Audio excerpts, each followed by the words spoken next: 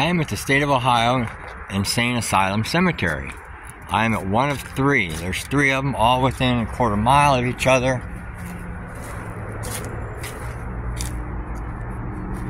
They're actually back here by the Columbus Police Heliport behind ODOT headquarters.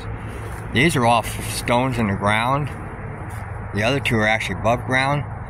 What I've noticed here though is all these stones, the burial death is late 50s, early or, or the 60s, and the 1900s. And I'm not sure why. If something happened in that time period, was there a fire? or what? Like 67?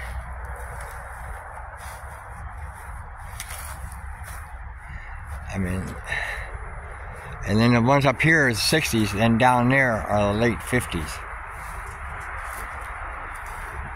I just find that odd. they keep pretty good, keep good care of it. Now, one of the three was really overgrown, but it's been a few years since I've been there. I'll find out when I go back today.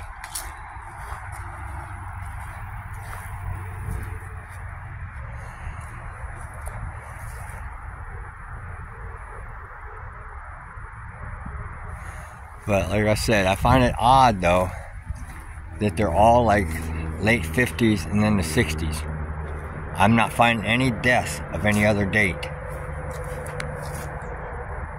1960. 1960.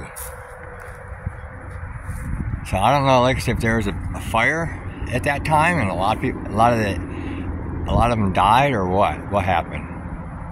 I could not say. Okay, this is the second one.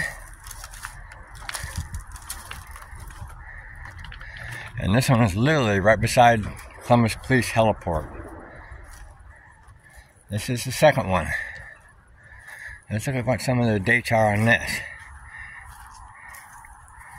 48 years old, 1958, 58.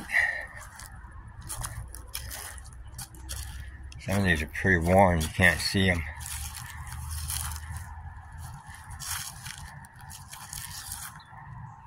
Fifty-nine.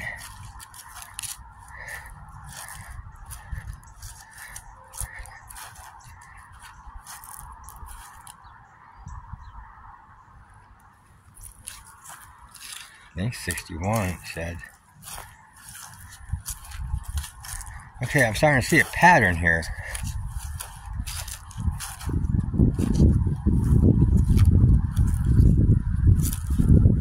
Nineteen sixty four.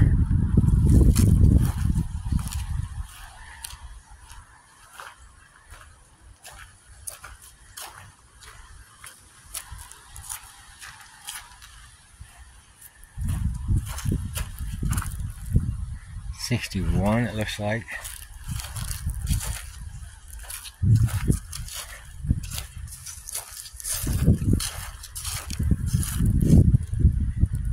One in 1971.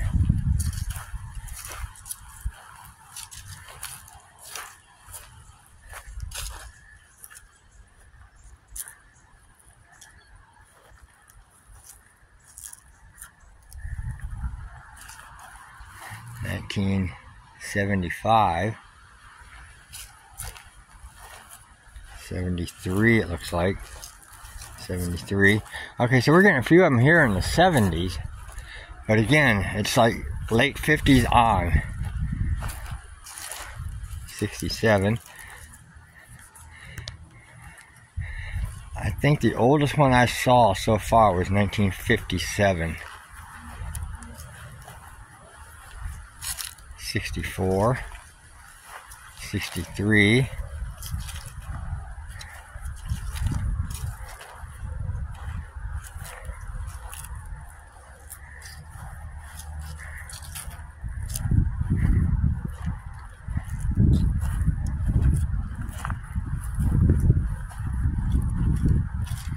Fifty-nine.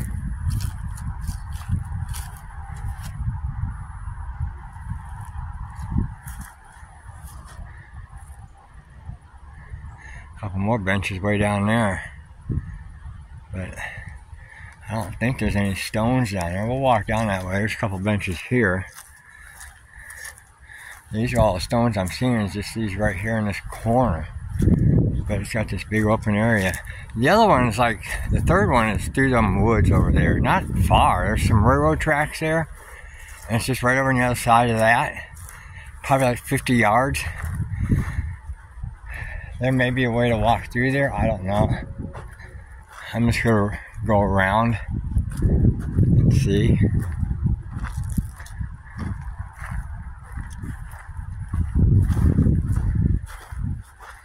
Yeah, I'm not seeing any other ones out here.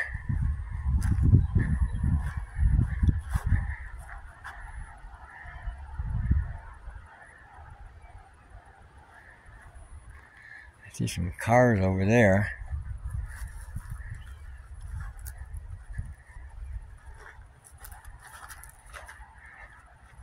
Now, the third one, I said it's been a few years since I've been to the other one, but it was in bad shape. It was all grown over, and they probably don't because these two here are like right here in this area where they can, can take care of them. The other one's sort of like off by itself, even though it's not far, it's just right over there. But they gotta go all the way around to get to it, so it's probably neglected. Uh, and the stones are more if I'm remembering correctly, they're more of your typical gravestones you find in a grave, graveyard. Uh, all fallen over and broken and really neglected. Sad shape. But we'll head over to that one now. Okay, I'm in the third one now. And they have done a lot of work on this. I believe that. It was nothing. Last time I was here, this grass was knee high so it's been cut this year. Oh, well, I don't know. Since we haven't had much rain, grass hasn't been growing, so it could have been cut last year. Uh, but they actually did some cutting back here. Oh, now we got some old ones here. 1868. Unknown. Unknown. So this one must be the oldest of all three of them. Because I'm seeing dates back in the 1800s here. Now this person was only 19 years old. 1852, yeah, I've seen some much older ones back here. So this one must be the oldest one of the three. Look at this one right by this tree. Let me just show you, this tree was not here probably. 1845. So probably like 175 years ago, this tree was probably just a little stubble, if it even was here at all.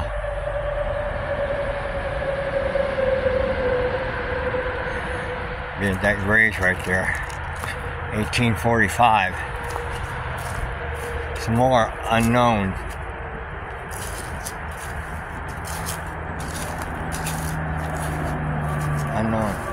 1844.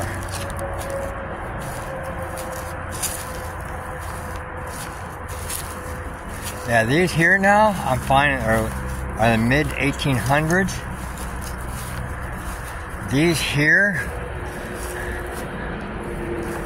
are even older, I bet. I don't even know. 1867. I don't even know if I'm going to be able to see anything I need.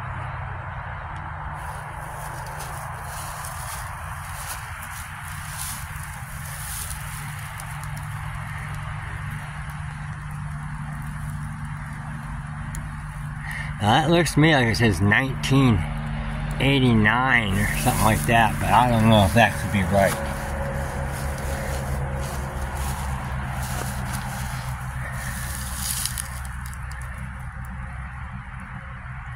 Nineteen. These are actually look like they're actually newer than uh, those plaques over there. Because it looks like these are dating 1900s. I'm not able to really tell.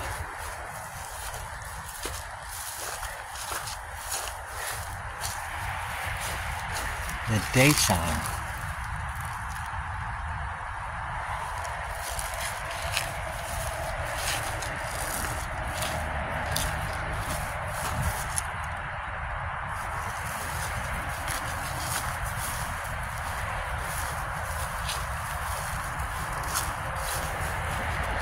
over here and look see what these look like.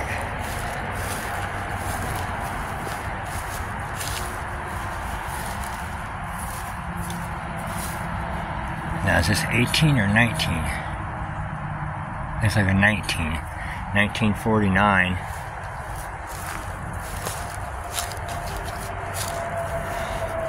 So these are a little newer here too. 1945.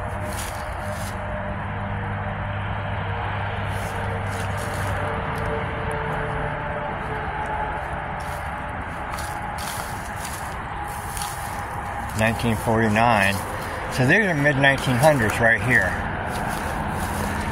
So we got three different kind of stones here. We got these, which is apparently these here look like they're around mid 1900s. Then you got those there, which look like the oldest ones of all, but they look like they're probably like mid 1900s also. And then you got these plaques over here, which are looks like they're mid 1800s. So these are probably some of the first burials right here.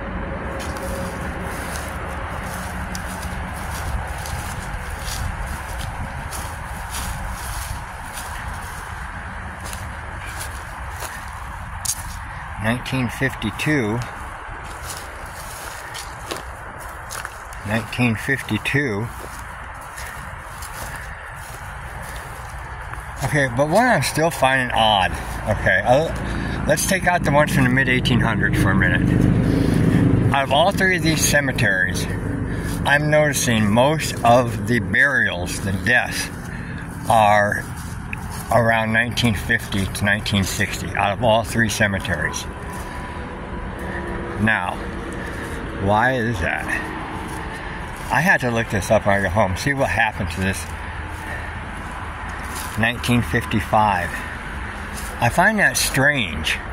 With the exception of the 1800s, almost all of these burials in all three of these cemeteries are 1950s, 1960s.